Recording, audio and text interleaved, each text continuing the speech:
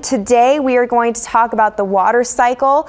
Uh, for my second graders out there, you have already had this covered in your curriculum, so this is going to be a little review for you. So let's go through it and we'll see how you guys are doing. Now keep in mind, our world is mostly covered in water. We have the oceans. Tell me your favorite body of water. Go right now. Oh, that's my favorite too. So rivers, I'm gonna go with rivers. Uh, we have creeks, oceans, ponds, anywhere that we have water, it's extremely important because every single day, what comes out? The beautiful sunshine. And that sun is very hot. Show me your best hot. Today you don't have to work too hard. You're gonna step outside and you're gonna feel how hot it is. Uh, well, that sun and that heat, it heats up all the water on the earth. And as that water starts to heat up, we start to evaporate the water and it becomes water vapor. It's an invisible gas. That water vapor goes up into the air and it starts to touch very cold air. Show me your cold. Good job, guys. So that cold air is all the way up by where the airplanes fly. And as our water vapor goes up into the atmosphere and hits that cold air, we start to have condensation. And that's what makes our cloud. It grows and grows, and you see that cloud form, and it's holding so much water, and eventually it's going to be so big that the water is going to rain down. And what do we call that? Precipitation. So the water is coming down from our cloud, and it goes back into our oceans, our rivers, onto our soil, and that creates the water cycle. It just keeps going and going.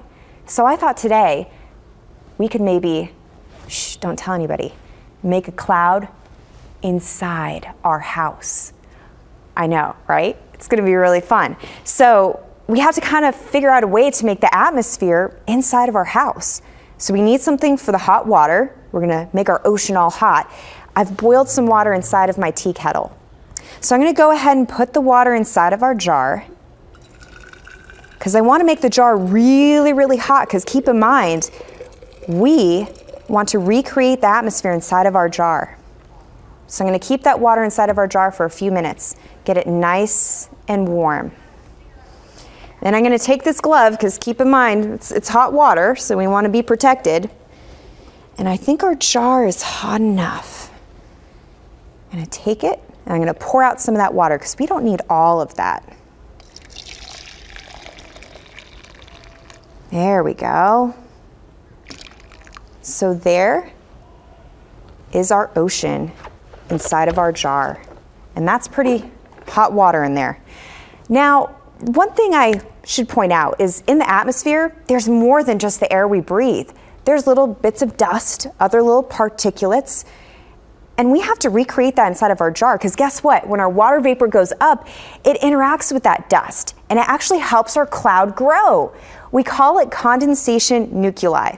I know it sounds like a fancy word, but just think about it as dust in the air. So to recreate that, we're actually gonna light a match. Don't worry, I'm a trained professional, we're good. And of course, make sure that you have mom and dad. I know that they're sitting with you right now. And this is the part that they will do. So we're gonna go ahead and light our match. And then remember, we have to have the cold air. Here's our cold air. We got a bag of ice. So I'm gonna light our match, put it inside of our jar, cover it quickly with our cold air, our ice cubes, and we will watch our cloud grow. Are you guys ready? Okay, three, two, one. Okay, there's our match. It's gonna make our dust, our condensation nuclei. Put your cold bag on top, and we're gonna watch our cloud grow. There it goes. So our hot water, our ocean at the bottom of our jar, that water is evaporating and that water vapor is rising into the atmosphere all the way by where those airplanes fly. And the cold air up by where the airplanes fly, well, our water vapor is touching that cold air. At the same time, it's interacting with the dust, our match that we put in there, and it's growing our cloud. Look how cloudy it is in there. That's a cloud inside our jar. Inside our house, we're making a cloud. And if you look just close enough, you'll notice that we have little droplets down the side of our jar. And you might even be able to see a little bit of rain in the middle of that jar dropping from our sandwich bag. I just saw it. Did you see it? It's dropping into our ocean. That's our precipitation. So keep in mind with our water cycle, we have our evaporation, our water vapor, it's condensation when we hit that cold ice, and then we get our precipitation. We can see our water droplets hitting our ocean. There it goes. Well, what do you think about letting our cloud escape? I think we should do it too. Okay, get ready. Three, two, one. Let it go. there goes our cloud. Amazing. You guys, we made a cloud inside of our house.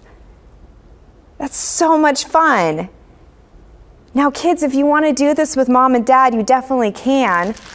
You can replay this video or you can go to click2houston.com. At Britta's Weather Lab, we actually have five weather experiments and weather explainers, like how do we make a rainbow? How do you get snow in Houston? It's all right there. It's completely free. So hopefully it helps you guys out during this time. And we're going to try and do this every Thursday.